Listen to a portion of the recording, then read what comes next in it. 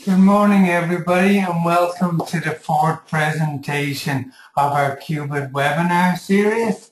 Uh, my name is Michael Kerwin. Uh, our fourth presentation is going to look at the new job coding functionality that has been added to the Cubit Pro software.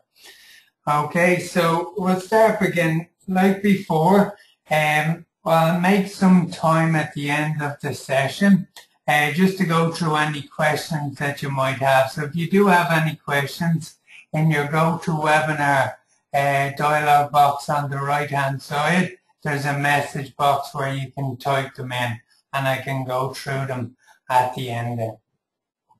Okay, so we'll begin now. So as I say, one of the uh, new functions that have been added to the software, and it's actually come from a number of requests from our traditional Buildsoft global estimating users. And that's the ability to be able to code a job to, create different formats or versions of your estimate. Uh, anyone familiar with the um, the global software, you'd be used to the names of Q and OR coding or job analysis as we to. Okay, so these uh, these columns, you know, were traditionally used to sort of sort your estimate, maybe into by a level or building, or maybe more so by trade package or accounting codes. So our development team obviously took our requests on board, and over a number of years, we've been getting feedback on that kind of functionality, which we've now added into the Cubit. So one of the main new features now is in the Cubit Pro version, you can actually have up to 20 coding columns per estimate. And the, uh, the max in the, the old global software was six characters per code. That's now been expanded to 25 characters. So it makes it more usable with accounting codes that you might use in accounting software. Okay, so uh, how do you use the coding then within Cubit? On the Job Manager screen, there is actually a new section on the ribbon called Grouping, okay, where we have our group job functionality, but we also have our code section. Okay, and if we choose codes, this allows us to go in and set up um, you know, a mixture of either quantity codes if we're analyzing the quants or rates if we're analyzing the rate level.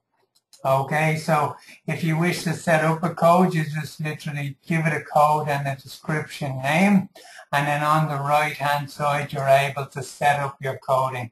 So say if I was saying blocks, I could have like, you know, all I'm doing is typing it in saying block C Okay, so you can sort of do it the same way as if I'm looking at the rates and I was looking at my cost I could come across, I have two samples already set up there for concrete supply and labour. Maybe I add another one for say blockwork, whatever it be, okay, you're able to choose what you need. You can have it either set up as alphanumeric, alphabetic, or just numeric it's totally up to yourself. Yeah. Okay, so some examples you can see there is on my quant, I have the block ones and I have an option of being able to block, you know, sort bill up into those blocks if need be.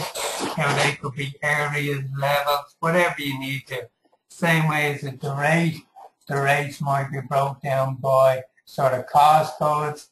They could also be broken down by sort of, you know, a main section of codes if you need to. So you can see in the example there, I have a full breakdown of whatever I need.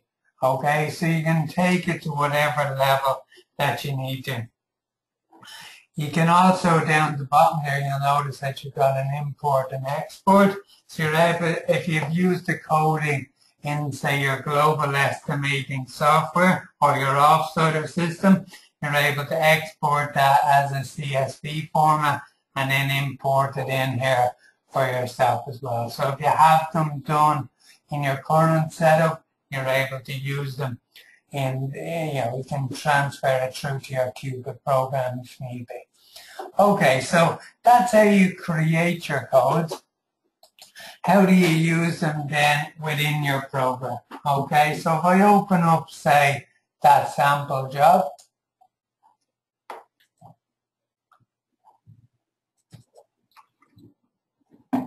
Okay, and that's just the job we use in one of the earlier versions of uh, of the webinar series. So, you know, a new feature that you might have seen me using earlier on in another session was on the View tab. We now have these layout sections. Obviously, you can custom your own one, but one of the handy ones, if you're just looking at the estimate for coding or whatever, you know, if you don't require the viewport visible at that time, you can actually switch it to estimating view. You know, and that'll switch your estimating and your calc and rate here, or you can actually take this little option and it'll switch your calc and rate sheets down below there as before. So, you know, you're able to, you know, move them. That just makes it a little easier for you to be able to see. Okay, so on the data tab, what we have now is we have an new section called codes and there's two options. You've got manage where it allows you actually to go in and see your code files and actually add to them what's in the job if need be. But you've also got the edit column.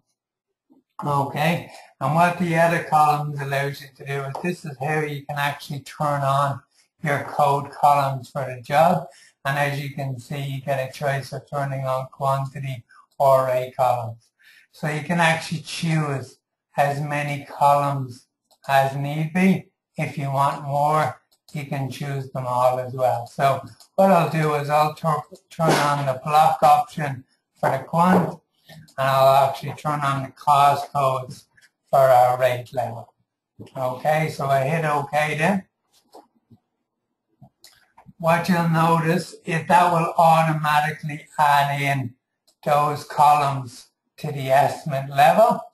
Okay, let's move them around. If you want, you can move these codes anywhere you need to. So if you want them at the end, in between, you know, at the quantity, you know, if you want them at the rate level, you can actually move them anywhere you want in the software. They're not fixed.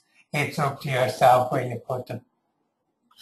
Now, what another feature that's been added is in the old one, when you'd add it to the estimate, if you wanted to code, say, the calc or the rate level, you would actually have to automatically go into the calc level and add the column. The software automatically does it for you.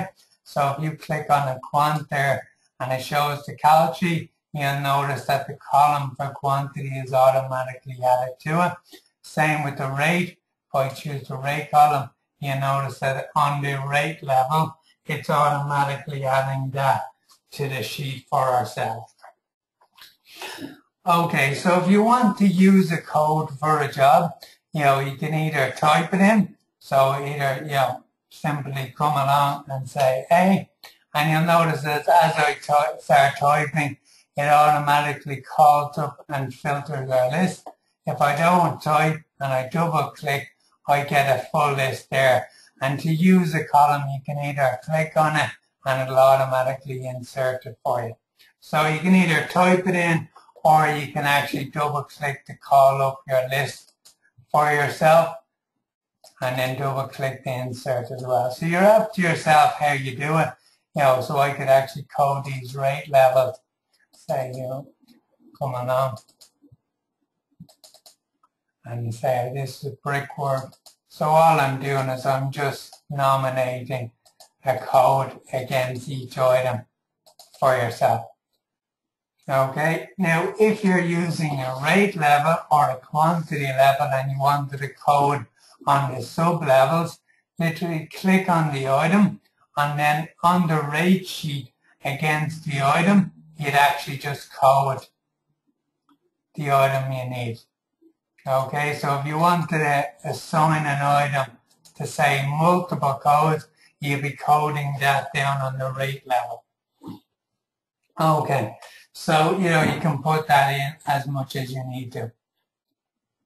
Okay, so all you do is you go through your bill, you know, assigning each item to a code as you need to.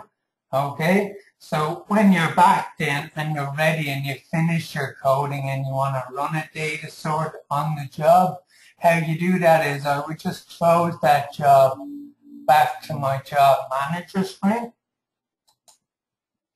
Okay, that'll bring it back out here for me. And then back on the job manager grouping option, we have the option to group the job.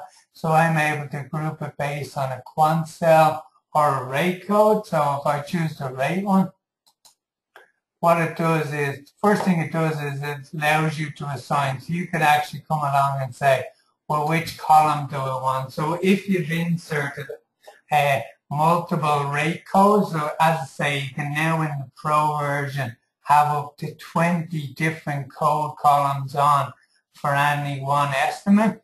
You can choose the one you want to run the sort on. Okay, it'll ask you what would you like to call it. So I could call it, you know, just say Costco's, that could be coded job, whatever it name, needs to be. And then you have actually a couple of criteria on how would you like to run the sort. Would you like to run it just on the item sheet level? Would you also like to look at the rate sheet level? And you can also have it, all right, well if I have codes on the rate sheet level, ignore them if I've coded on the estimate, if you wish. And you've also got the ability of, say, transferring the calc and rate sheet or bill references with it if need be. So I'll just hit rate sheet because we have analyzed our rate level. And I'll also tick calc sheet so the calcs transfer with the job. So to run the group, you very simply hit group Now what you'll notice is a new job then is added in as part of our list based on the name we entered, such as Costco. But what it also does for you, and this is something you've been asked for, is, you know, previously it would just create a new job on the job list and you're, you know, it could be, you'd have to scroll down to find the one that it's linked to. Whereas now on the new one, it creates a mini project for the job and it has your original job and then also your sorted job. And if I open up the sorted job, and I'll just collapse all of it. So what you'll notice is on the main summary level, we get a breakdown of all the codes. So you can see that I've got a total for concrete supply of about 19,352 euro. And then we, for labour, then we've about 4,700, blockwork the same. And then we get a list of any items that were uncoded. So, you know, if you entered a code that didn't exist in your code file, you get a new one saying incorrectly coded. So if I expand that down then, it actually gives me a breakdown. So you'll notice as I expand them down, Another feature that's been added that we've been asked for is we were only coding the items, but it automatically brings the headings with it. So if you've actually if you've actually got the heading, rather than have to code the headings like the previous software, it automatically brings them with each item for yourself. It's just a time saver there. Okay, so that's really just an idea of how it works for you. What I'll do is I'll open it up to any questions that you might have. So if you want to type in your question in the uh, message box, I'll go through them now.